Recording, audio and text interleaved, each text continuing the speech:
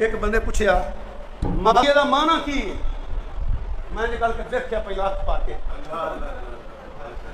ਜਦੋਂ ਵੇਖਾ ਨਾ, ਮੈਂ ਕਿਹਾ, ਸੋਹਣਾ ਓਏ ਜਿਹਨੂੰ ਵੇਖ ਕੇ ਕੁੱਤੇ ਭੌਂਕਣ ਨਾ। ਵੇਖ ਕੇ ਕੁੱਤੇ ਭੌਂਕਣ ਕੁੱਤੇ। ਹਾਏ ਵੇਖ ਕੇ ਕੁੱਤੇ ਭੌਂਕਣ ਉਹਨੂੰ ਮਾਵੀਆ ਕਹਿੰਦੇ ਨੇ।